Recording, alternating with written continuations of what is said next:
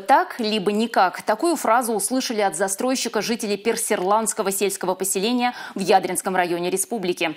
Ситуация парадоксальная. Там планируют построить школу, в которой некому будет учиться. При этом старое здание нужно сносить в любом случае, иначе оно рухнет само. Где взять детей и почему нельзя сократить размах? Татьяна Молокова посчитала школьников по головам и квадратные метры по классам. В течение учебного года нам периодически приходится и шпаклевать, грунтовать. То есть идет учебный процесс, а вы в это время делаете ремонт? В течение года вот несколько раз приходится. И класс точно так же Директор школы по совместительству и прораб, и строитель, и снабженец, кто угодно, только не учитель. Светлана Григорьева рассказывает, что и хотела бы заниматься учебным процессом, да некогда. Дело не в проворот.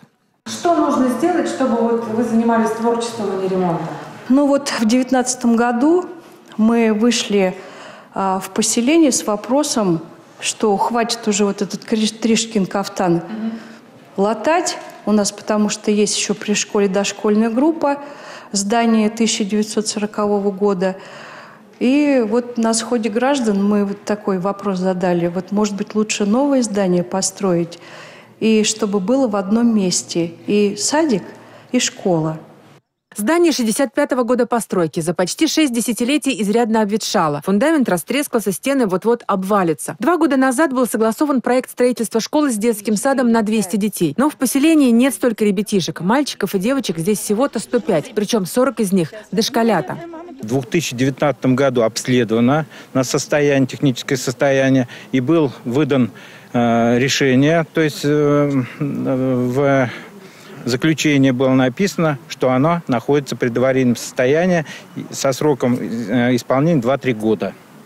То есть, а то есть через три года она будет уже аварийная. Ветхое. Ветхое и аварийное здание. Участок, на котором стоит старая школа, огромный. Здесь есть яблоневый сад и огород. Места для новой школы предостаточно. Все по проекту. На данный этап вот этот проект не актуально, потому что мы не можем осилить такую мощность. У нас детей не хватит. В данное время 67 учеников. На следующий год чуть-чуть незначительное, но это незначительное, 2-3 ученика поменьше.